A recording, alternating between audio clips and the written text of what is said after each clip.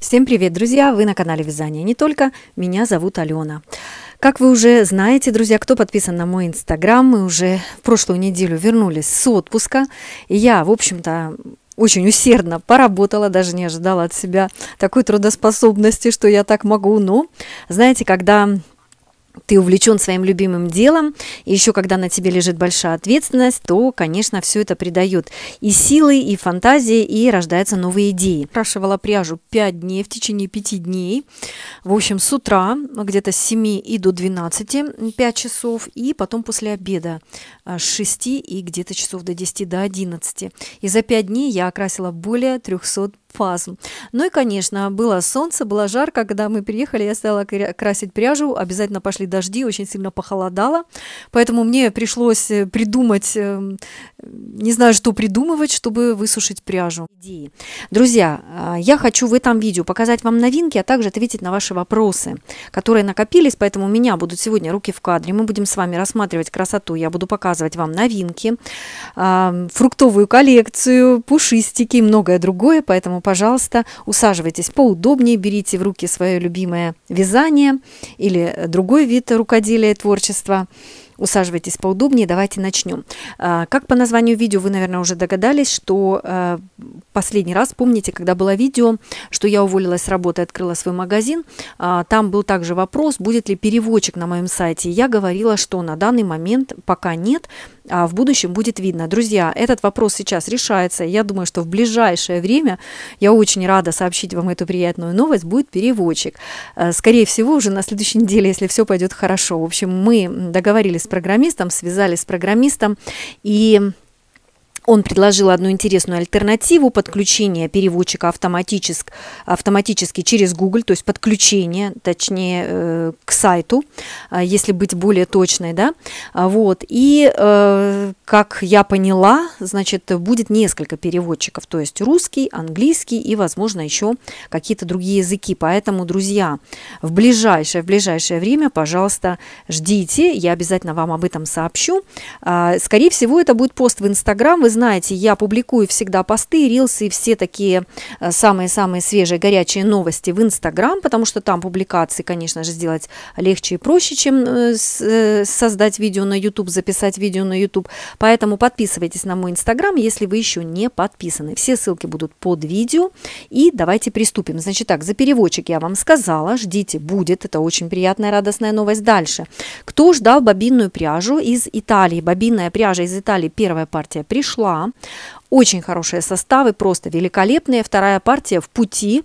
Я думаю, что на следующей неделе, может быть, э, вторник, может быть, среда, посылочка уже будет у меня. И там долгожданные будут пайетки. Будет также кашемир с пайетками. Друзья, пайетки будут по 200 грамм на отмот. Я уже говорила, да, я договорилась с фабрикой, потому что у меня нет возможности мотать на такую, э, на мод, на конус. У меня моталка вертикальная, не горизонтальная, а когда на конус мотается, да, то подразумевается горизонтальная намотка. Вот. Ну, может быть, в будущем все это будет, пока вот договорилась с фабрикой, будет по 200 грамм. И пайетки придут белого цвета, медового цвета и черного цвета. И, может быть, потом попозже немножечко и другие какие-то цвета. Вот, это такие новости по сайту, какие еще будут дополнения да, за это время. Сейчас же, вот сегодня уже, сайт же был до 31 закрыт, мы были в отпуске.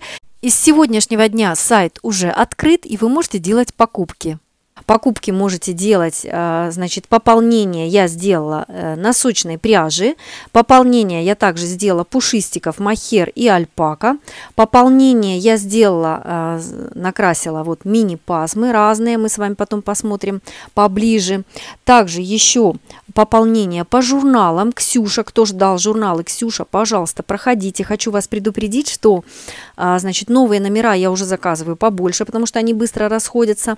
А те предыдущие номера, которые были в начале этого года или даже некоторые с прошлого года, там остались буквально по одному-два журнала, я уже дозаказывать не буду. Поэтому, если вы хотите заказать для себя, если вы думали или хотите, допустим, на подарок, так как у нас скоро, конечно, Рождество, ну как скоро, 4 месяца, но тем не менее, да, вот, чтобы не получалось так, что в последний момент вы хотите что-то купить, какой-то номер журнала, а его уже больше нет, и дозаказывать я уже предыдущие номера не буду. Вот. Ну, также проектные суммы Каемочки, конечно, не забываем, это наши чудесные помощницы. И э, есть спицы, маркеры и многое другое. Кстати, друзья, хочу сказать, что кто ждал чехлы для ножниц и коробочки для маркеров кожаные от фирмы МАТ, это снова все в продаже. А, кстати, спицы я также Чиагу. Меня спрашивали, будут ли спицы Чиагу с леской 100 сантиметров. Будут, друзья. А, буквально, я думаю, в середине, в конце месяца мне придет новая поставка. И будут уже спицы, кто вяжет э, плечевые изделия. Для крупных изделий будет также с леской 100 сантиметров. Давайте рассмотрим новинки. Я покрасила пряжу насущного состава, сделала фруктовую коллекцию. Ну, коллекцию, наверное, это громко сказано. Всего я сделала 4 э, цвета. Вдохновил меня на эту коллекцию мой муж Робби. А, мы были в отпуске. Все такое, знаете, яркое, сочное, красивое. И вот мы сидели, разговаривали с ним, и он говорит, почему бы тебе не сделать фруктовую коллекцию? Вот, э, покрасить пряжу так, как вот фрукты. И стали с ним разговаривать. И, в общем, я выбрала по фотографиям на немецкий, если правильно назвать, драхенфрукт. Э, по-русски это драконий фрукт или драконий плод, можно еще так сказать. Я вставлю фотографии. Конечно, это никак не укладывается в носочки. Я прошу вас, пожалуйста, не путайте, потому что, когда я называю коллекцию, там, допустим, какой-то новый цвет тюльпан, меня спрашивают, это будет э, тюльпан, когда я буду вязать? Нет, друзья, конечно, это только ассоциации цвета. Это комбинирование цветов э, так, как, ну, не знаю, знаю, мне моя фантазия подсказала, да, на самом деле, конечно, в носочке это не будет укладываться именно а, в фотографию фрукта или в узор фрукта, это только лишь а, такие цвета, которые вот меня вдохновили на то, чтобы вот таким образом покрасить пряжу. Значит, э, актуальное наличие каждого цвета вы можете посмотреть более подробно на сайте. А вот это я покрасила. Арбуз – вот. Но я его сделала более нежным. Знаете, есть такие арбузы, они не прям ярко-красные, алые, а есть такие арбузы красно-розовые. Вот я именно покрасила такой арбуз с косточками, и потом идет э, немножечко такой просвет, э, как бы кожура, да, между зеленым, и потом светлая а, вот такая кожура. Я тоже максимально старалась передать а, вот цвета именно арбузной корки, с таким белым просветом даже немножечко и с темными семечками. Далее следующий фрукт, наверное, вы тоже догадались, это киви. Киви это назвали этот фрукт в честь э, птички, которая обитает в Новой Зеландии, и у нее вот э, перышки вот такого цвета, поэтому киви фрукт именно так назвали в честь этой птички. Это, в общем-то, осенний фрукт, он зреет э, в конце сентября, даже некоторые сорта в октябре, и выглядит это тоже вот э, такая коричневая кожура, бархатистая, и потом вот такие вот ярко-зеленые до желтого неонового и белая сердцевинка с такими черными косточками маленькими. Хотя киви, я посмотрела в интернете, бывают разные. Бывают даже желтые, бывают даже и красного цвета киви. Но я все-таки остановилась на классическом варианте. И следующие пазмочки – это персик. А вот с такими переходами, где-то более такой насыщенный, даже немножечко с крапушками, а где-то более светлый, а, даже переходящий немножечко а, с э, такими переходами нежно-нежно прям бежевого. Вот. Это еще один такой фрукт, который меня вдохновил на окрашивание пряжи. Также хочу сказать и ответить на вопрос. Мне, кстати, спросила моя зрительница, Алена, вы когда фотографируете пряжу, используете ли вы дополнительное освещение, чтобы передать цвет? Друзья, я ничего не использую. Не использую ни дополнительный свет, освещение, лампы, никакие фильтры на телефоне, ничего. Никакие фотобоксы, абсолютно ничего, потому что моя цель максимально натурально передать цвет – именно пряжи. Это сложно сделать, поэтому я фотографирую всегда а, недалеко от окна, не прям напротив окна. Вот у меня окно с левой стороны, у меня с левой стороны падает а, свет, и я фотографирую а, всегда при дневном свете. Это в основном, если хороший нормальный день, солнечная погода, то это с 12 и до 4, ну, самое максимальное до 5. После тоже можно фотографировать, но уже освещение именно эм, цвет именно самого, э, самой пазмы, оно будет несколько другим на камере. И, конечно же, зависит от того, на каком устройстве вы смотрите, э, заходите, допустим, на мой сайт, и как у вас отрегулирован цвет монитора. Это тоже зависит, поэтому у меня в общем-то, на каждой пазме, на каждом артикуле в описании указано, что цвет от того, как э, ваш монитор э, значит, отрегулирован, всегда может меняться. Поэтому я стараюсь также еще вам показать новинки и видео, чтобы в видео вы могли это все посмотреть, потому что видео достаточно хорошо передает цвет. Э, крайне редко, когда он немножечко преломляется.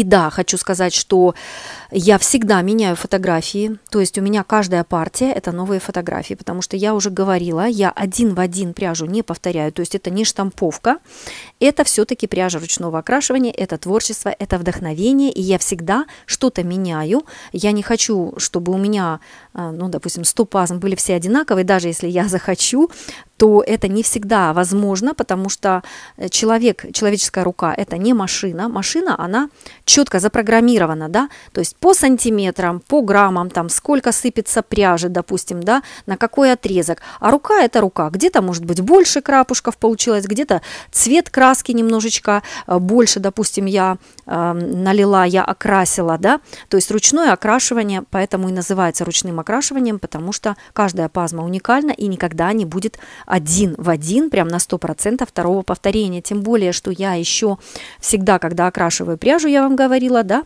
я иногда меняю тональность тоже. Вот, например, у меня такие пасмы были, но здесь был такой э, темно-болотно-зеленый, прям темный болотный зеленый, потом светло-болотный серый. Сейчас я сделала более ярко-зеленый. Поэтому всегда выставляю на сайте э, с актуальной пряжей актуальные фотографии. Никогда не оставляю фотографии с прошлой партии. Вот, например, сейчас я тоже сделала тюльпаны. Это не новинка, это уже на постоянной основе у меня на сайте. Но теперь посмотрите, какие яркие я тюльпаны сделала. То есть в этот раз они у меня очень-очень яркие. Это те же самые сочетания цветов, это все то же самое, это те же самые тюльпаны, но э, тональность краски я выбрала другую. И, соответственно, фотографии у меня актуальные согласно вот именно этим пасмам, которые и я указываю в наличии. Что у меня еще из новинок? Вот эту фруктовую серию я вам показала, да, такую интересную, э, с косточками. Все получилось у меня, вот три цвета получилось все с черными такими а, косточками, крапинками. И еще у нас скоро же близится осень, поэтому я сделала тоже вот такие очень красивые, насыщенные осенние цвета. Это что-то такое, лесная брусника, что-то даже похоже на чернику, где-то между что-то среднее, вот что-то такое тоже. Мне очень понравились эти ягодные цвета, вот эти вот сочетания, переходы такого орехового, а, такой листвы уже, знаете, осенней, и здесь немножечко даже бордовых вкраплений. Вот. Так что, кто хочет немножечко запах осени, настроение осени, пожалуйста, для вас тоже есть новинки. И вот такая вот у меня еще новинка. Это прям я не знаю, багрянец какой-то такой интересный, да, прям такая вот листва уже, а, такая даже не красная, а ближе к такому ржавому цвету, оранжево-коричневому, даже немножечко серый проглядывается, да, и такие вот тоже вкрапления здесь, вот и коричневый, тоже темно-коричневый. Это тоже уже настроение осени. Также я покрасила вот такие новинки – это очень-очень нежные цвета, ментол, нежная роза и очень нежная вот такая сирень. Немножечко вкрапления, пинк, просто, просто минимальные вот крапушки, да, здесь в основном переходы очень нежных цветов. Это тоже новинка. Это в прошлый раз, перед отпуском я окрашивала, была новинка, очень быстро раскупили, поэтому в этот раз я прям покрасила уже 6 пасм наличии, так что, пожалуйста. Да, все, э, все артикулы, конечно, количество ограничено, э, поэтому если хотите успеть или хотите на плечевое какое-то изделие, шаль, допустим, связать, да, или кофточку, или кардиган, то, пожалуйста, проходите на сайт и смотрите актуальное наличие. Из пушистиков э, я покрасила это э, махер, шерсть полиакрил и полиамид. Здесь вот такие вот переходы.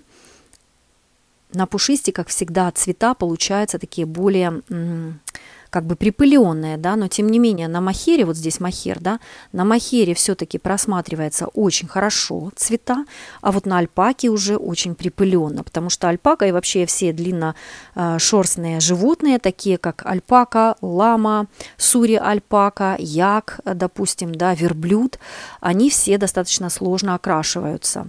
Вот махер, конечно, гораздо лучше, поэтому я для махера выбрала вот такие вот цвета. Кто любит нежняшечку, это прям очень-очень нежные цвета. Я тоже, вот смотрите, да, разница какая. Это то же самое, и вот то же самое. Видите, как это выглядит на носочной пряже и как это выглядит вот здесь. Это альпака. Тоже достаточно хорошо окра окрасилась, мне понравилось очень. Но, тем не менее, вот этот эффект, знаете, такой припыленности, он явно на лицо, его видно. Да? Вот. вот такая вот разница. Если взять, например, пряжу а, носочную, как, как ярко, как она берет цвет, и вот, например, альпака. Но мне нравится и то, и то. Очень нравится. Дальше из пушистиков еще вот такой альпаку. Вот такие цвета я окрасила.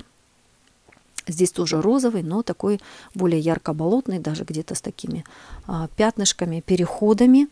И вот такую вот еще альпаку я покрасила. Здесь такие более осенние цвета, такие более а, насыщенные, глубокие. Такие, это кирпичный и, или, может быть, орех капучино, как угодно можно назвать. Да, вот такая тоже сирень и вот такой вот болотный. И также окрасила однотонные цвета. Это тоже альпака. Окрасила очень ярко неоновый пинк это можно со, с белой ниточкой, с кремовой, с ванильной смешать. Просто великолепно будет. Также вот такое красила. Неоднозначный цвет, такой коричневый, немножечко даже уходящий в капучино. Немножечко такой с бордовым подтоном, ноткой такой. Вот такой цвет. Это медовый. Это прям вот настоящий а, горчичный такой мед. Или каштановый мед. Вот так вот тоже с переходами. А, вот такой зеленый, это все альпака. Более подробный состав можно также посмотреть на сайте. И вот такие вот две еще насыщенные такие. Прям лавандовые, темно-темная лаванда насыщенная. Вот такие еще пазмочки. Также я окрасила пазмы с люрексом. Я тоже здесь делала вот эту вот фруктовую а, коллекцию. И вы знаете, и в этот раз я думаю, да что такое? Сначала я, знаете, я же даже засомневалась, что я, а, я же все время покупаю, где 400 метров на 100 грамм. И они такие толстые, такие плотные. Я прям их с трудом скрутила. Потом я же вспомнила, я всегда, когда ну, ветер, я стараюсь на улице, если хорошая погода, нет дождя и прямых солнечных лучей, я всегда пряжу оставляю на улице, чтобы она проветрилась а, таким а, воздухом, ветром таким, чтобы она такая пышная была. И вот она так распушилась, что я потом ее с трудом скрутила, если честно. Настолько распушилась эта пряжа. Драхенфрукт вот этот вот. Вот. А здесь киви. Видите, и все с блесточками. Кто любит гламурчик, кто любит блесточки, пожалуйста, вам еще блесточки. А также здесь есть вот такой насыщенный коралл, просто обалденный, с такими еще вкраплениями, ярко такими оранжевыми, обалденная тоже, да. А вот, например, хвоя, прям настоящая хвоя.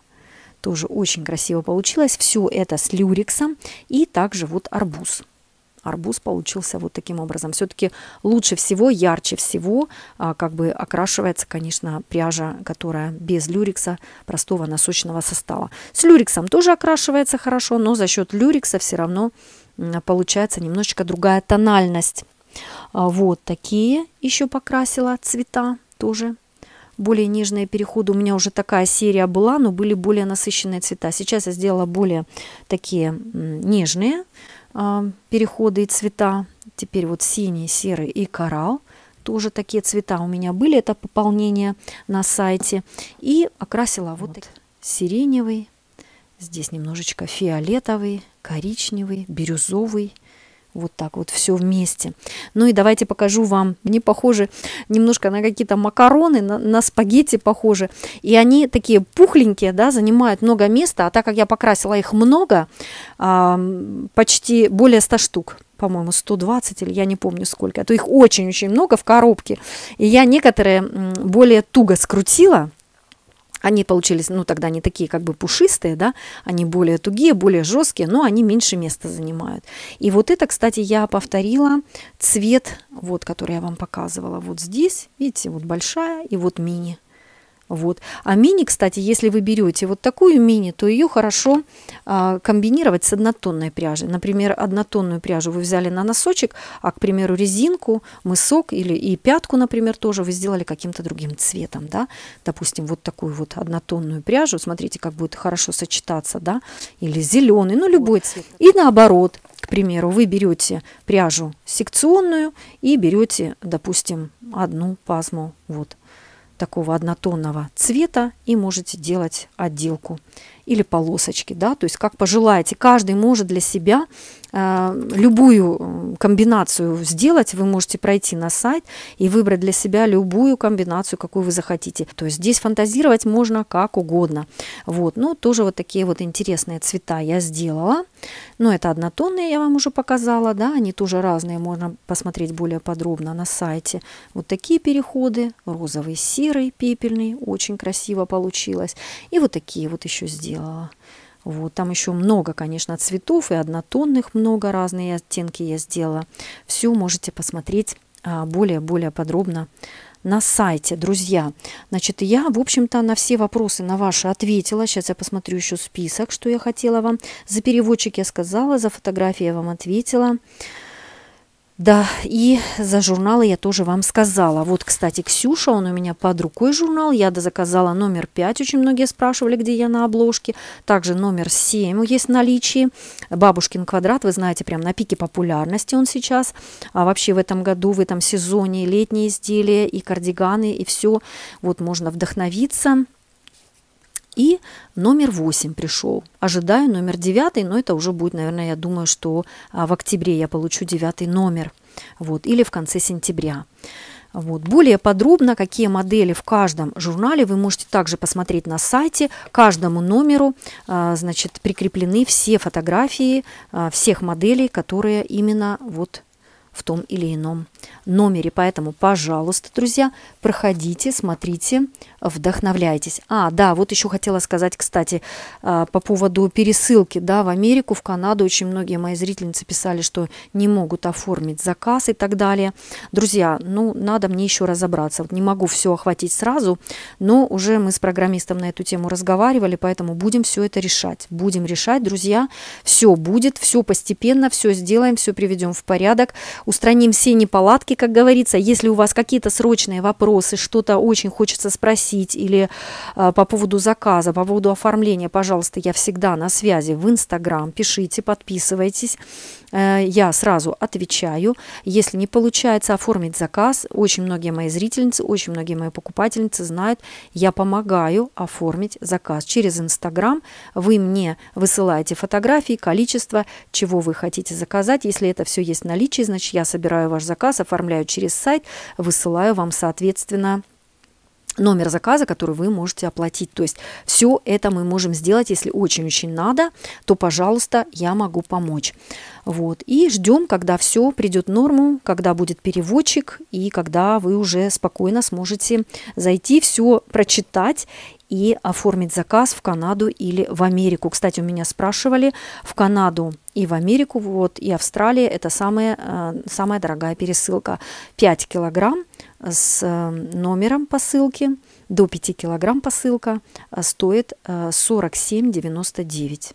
Вот такая вот цена. Поэтому у меня девочки из Америки, если заказывали, они прям заказывали вот прям четко, чтобы было 5 килограмм, чтобы тогда уже, ну, не обидно было платить такую пересылку, да, там за 1 или за 2 килограмма, уже тогда 5 заказал и все. И, конечно, когда дорогая пересылка, я всегда поощряю своих покупательниц и всегда а, кладу какие-то маленькие презентики, маленькие какие-то подарочки, также всегда с удовольствием дарю а, мастер-классы, которые в платном доступе или описание. Поэтому друзья. Все, в общем-то, вам рассказала, все вам показала. Проходите, вдохновляйтесь, смотрите. Я жду вас на сайте. И в следующем видео, друзья, я покажу вам, а, как я продвинулась по своим вязальным процессам. Все это будет. И также я не забыла, еще остались некоторые вопросы, на которые я хотела ответить, немножечко личного характера. Поэтому все это будет в последующих видео. Друзья, на этом я свое видео хочу закончить. Благодарю вас за просмотр, за ваши лайки, за ваше внимание, за ваши добрые комментарии, и мы увидимся с вами в следующих видео.